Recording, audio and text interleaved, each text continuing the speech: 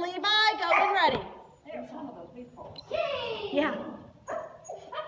Let's come, come, Rick. Yeah, come, come. I think the flowiness offsets the double weave poles too. I hate double weave poles, oh. especially 12. I'm really surprised that when she takes that turn, and she's taking, because I thought that was in